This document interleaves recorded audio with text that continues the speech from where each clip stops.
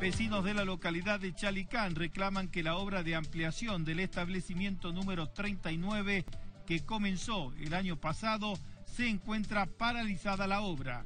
Los habitantes del lugar manifestaron que necesitan la ampliación, ya que en la escuela funciona el nivel primario y también el nivel secundario.